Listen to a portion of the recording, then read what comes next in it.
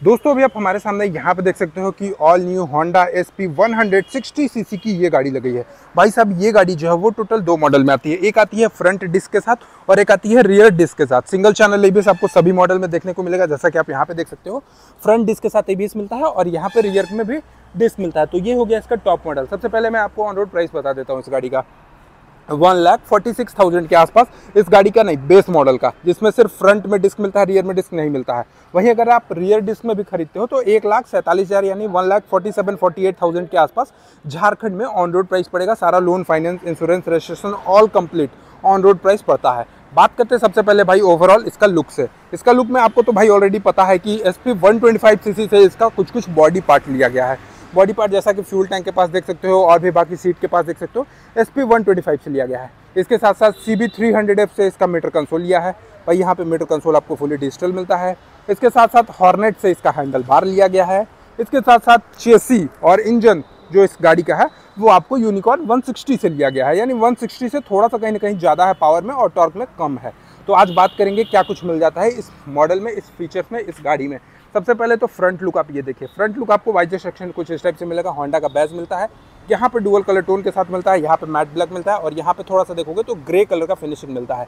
इसके साथ साथ इसका जो लाइटिंग सेक्शन है, वो फुली एलईडी के सेटअप में मिलता है। यहाँ पे आप देख सकते हो एलईडी का ब्रांडिंग मिल रहा है और यहाँ पे नंबर प्लेट ऑप्शन जो है, ये आपको यहाँ पे ऑप्शन नंबर प्लेट ऑप्शन मिलता है। इसके साथ साथ यहाँ पे टर्न इंडिकेटर की बात करें तो ये बल्ब में मिलता है।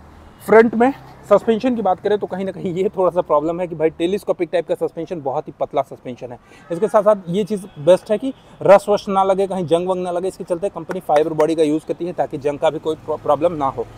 बाकी आप देख सकते हो ए के साथ मिलता है। फ्रंट टायर साइज़ की मैं बात कर लूँ तो यहाँ पे आपको 80 बाई 100 सेक्शन के फ्रंट के टायर मिलते हैं जो कि 17 इंच के साथ होते हैं। फ्रंट में डिस्क ब्रेक की डायमीटर की बात करें तो 276 mm के साथ फ्रंट में डिस्क ब्रेक की डायमीटर मिलती है विद सिंगल चैनल ईबीएस के साथ मिलेगी नीफिंग की ब्रेक कैलिपर्स आपको यहाँ पे देखने को मिल जाता है। इसके साथ साथ बात करते हैं इसके इंजन सेक्शन की तो यहाँ पे आप इसका इंजन जो देखोगे, ये आपको मिलेगा 162 सीसी का फोर स्ट्रॉक सिंगल सिलेंडर के साथ इसका इंजन मिलता है। मैक्सिमम पावर आपको 13.46 पीएस की मैक्सिमम पावर मिलती है और 14.53 एनएम की इसकी मैक्सिमम टॉर्क मिलती है। इसके साथ साथ इसका जो इंजन है, वो हेड देखोगे, वो आप, आपको उठा हुआ मिलता है। बी एस की गाड़ी है तो ऑक्सीजन सेंसर मिलता है कैटेलिटी कन्वर्टर मिलता है इंजन गार्ड मिलता है फ्यूल आपको यहाँ पे इंजन मोबिल के पास देखोगे तो इंजन ऑयल का कुछ ऑप्शन है। यहाँ पे आपको क्रॉस कटिंग नहीं करते हुए कंपनी किट के साथ साथ सेल्फ का भी प्रावधान आपको दिया है। बाकी बात करते हैं यहाँ पे इसके फ्यूल टैंक के पास। तो होंडा का बैज मिल जाता है ग्राफिक्स देख सकते हो, कुछ इस टाइप से आपको यहाँ पे ग्राफिक्स मिलेगा। ये गाड़ी बी एस की phase two E twenty flex fuel OBD two engine के नॉर्म्स पे है। वही फ्यूल टैंक की कैपेसिटी की बात करें तो 12 लीटर यानी 12 लीटर की फ्यूल टैंक की कैपेसिटी मिल जाती है। इसके साथ साथ मीटर कंसोल आप देख सकते हो डिजिटल है, क्या कुछ फीचर्स मिल जाते हैं। सबसे पहले तो भाई, आपको मैं की दिखाता हूँ। तो ये देख रहे काफ़ी शानदार। और ये वीडियो मैं शूट कर रहा हूँ होराइजन होंडा डाल्टनगंज से। तो आप अगर डाल्टनगंज से ये वीडियो देख रहे हो तो होराइजन होंडा डाल्टनगंज में कॉन्टैक्ट कर सकते हो। बाकी लगाते हैं इसके मीटर कंसोल पर और ये देखिए भाई, यहाँ पे देखिएगा गियर सिर्फ़ इंडिकेटर शो करता है आरपीएम शो करता है, यहाँ पे फ्यूल गेज शो करता है trip A trip B odometer speedometer timing ABS turn indicator बाकी सारा कुछ आप यहाँ से सेट वेट कर सकते हो। लेफ़्ट हैंडल बार में आ जाते हैं तो यहाँ पे पास लाइट मिलता है हाई बीम मिलता है टर्न इंडिकेटर मिलता है और हॉर्न मिलता है। भाई, ये चीज़ सबसे बेस्ट लगी ना कि इसमें हज़ार लाइट का भी ऑप्शन मिलता है यहाँ पे। तो आपको एक्स्ट्रा एज इन मार्केट से आपको ऐसे हज़ार लाइट लगवाने का कोई ज़रूरत नहीं पड़ता है। इंजन स्टार्ट स्टॉप लॉम्प है, यानी किल स्विच बोल सकते हैं इसको, यहाँ पे सेल्फ का ऑप्शन है। इसके साथ साथ सीट हाइट की बात कर ले तो ओवरऑल इस गाड़ी का जो सीट हाइट है वो 769 mm के आसपास इसका ओवरऑल सीट हाइट मिलता है।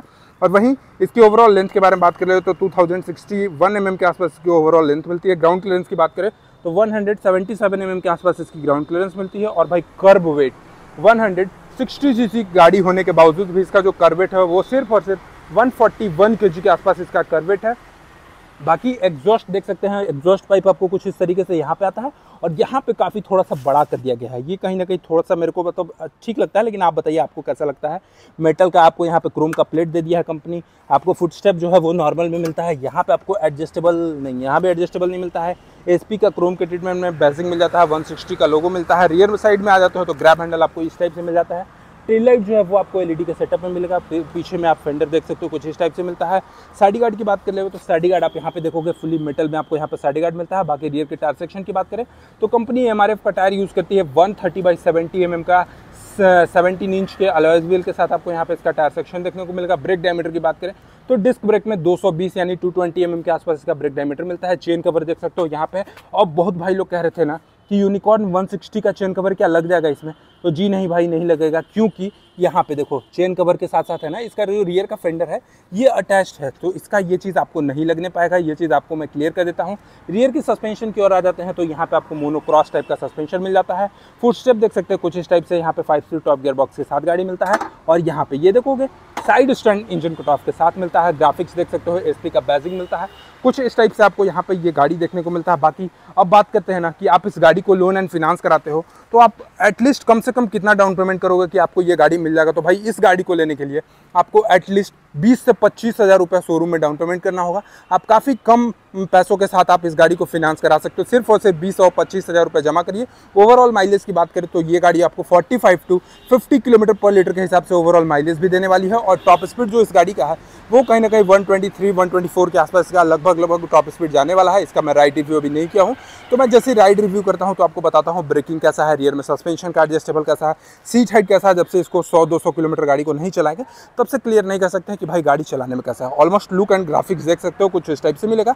बाकी आपको ये वीडियो कैसा लगा, एक बार कमेंट सेक्शन में बताइएगा। चैनल पर पहली बार हो गए तो सब्सक्राइब करके बेल आइकन को दबाना एकदम नहीं भूलिएगा भाई, क्योंकि आप ही के लिए मेहनत कर रहे हैं। रोज़ाना पर डे आपको ऑटोमोबाइल से रिलेटेड हमारे चैनल पर वीडियो देखने को मिलती है। चलिए, आज के लिए इतना ही। मिलते हैं नेक्स्ट डे नेक्स्ट वीडियो के साथ।